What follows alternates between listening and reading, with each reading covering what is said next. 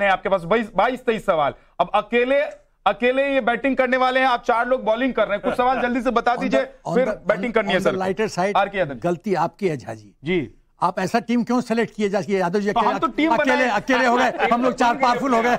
मैंने टीम बनाई नहीं थी। तो बन गई अपने ये तो टीम बन गई है। जी हाँ, सर। अच्छा चार क्वेश्चन और। मेरे पच्चीस क्वेश्चन है। सात मैंने कवर किया है। चार मैं और कवर करता हूँ। आठवां।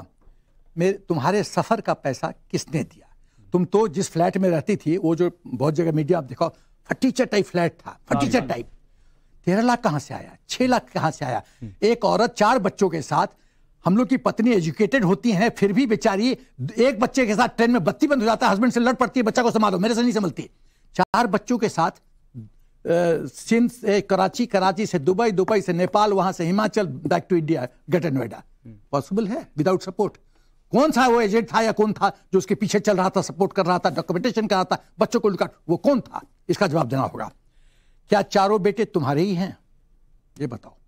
इसके लिए तो डीएनए कराना होगा। कराओ कराओ कराओ कराओ। ये सवाल तो मैंने पहले दिन उठा दिया था जब सीमा का मसला चला। यदि हिसाब से लगता नहीं है। उम्र जो बता रही है बाईस साल तो चार बच्चे होना बाईस और कुछ लोग अब मेरी उम्र आप बता नहीं पाएँगे। आप लोगों को लगता होगा कि मैं 26 साल का हूँ लेकिन मैं हूँ नहीं। एक फिर एक अगला हाँ, जी। वो तो बता रही जो पबजी आप पता नहीं क्या बोलते हैं हमको पबजी पबजी। पबजी हमको बोलने आपके जमाने में था ही नहीं सर तो कैसे पता लगेगा? तुम गलत टाइम में पैदा लिया ना जी पबजी का पैसा कहाँ से आया उसके पास?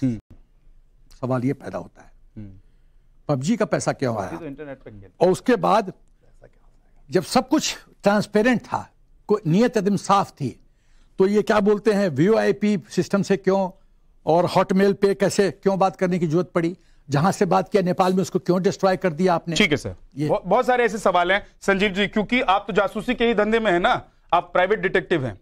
तो आप जासूसी के धंधे में हैं, इस तरह की चीज़ें जब सामने आती है तो आप लोग सीधे तय कर लेते हैं कि सामने वाला जो है वो जासूस है, या वो किसी के पीछे लगा हुआ है, उसकी इंटेंशन क्या है, या उसके अलावा आप लोगों को बहुत सारे और तफ्तीश करनी पड़ती है, तब जाकर क्लियर होता है। देखिए, ऐसा है कि जासूसी के मामलों में सबसे पहले ये देखना पड़ता है, जो सब्जेक्ट है, उसके ऊपर हमें शक क्यों हो रहा है? हमारे पास ऐसे कौन से एविडेंस हैं जिसे हम सर्कमस्टेंस एविडेंस बोलते हैं? कॉन्क्रीट एविडेंस नहीं कॉन्क्रीट एविडेंस ढूंढना जासूस का काम है। और सर्कमस्टेंस एविडेंस लेके हमारे पास क्लाइंट आता है, जो बताता है कि मेरे साथ ये प्रॉब्लम है, मुझे शक हो रहा है। उस शक को मिटाना एक प्राइवेट डिटेक्टिव का काम है, जो हम अपनी इन्वेस्टिगेशन के द्वारा करते हैं। इस इन्वेस्टिगेशन में यह समझना पड़ेगा कि उसके पास एक ही स्टोरी कि मैं पबजी और मैं बच्चे और मेरा प्यार और मैं सब कुछ, ये सारी सारी बात समझ में आ रही है। ये सर्कमस्टेंस है। एविडेंस एटीएस को ढूंढना एटीएस एविडेंस क्यों नहीं ढूंढ पा रही है? जैसा कि सबने कहा कि कोई भी अगर कहते हैं स्पाई भेजा जाता है तो उसको टाइम टू टाइम कहते बताया जाता है कि क्या काम करना है। पहला काम आप देश के अंदर एंटर कर गए कर गए।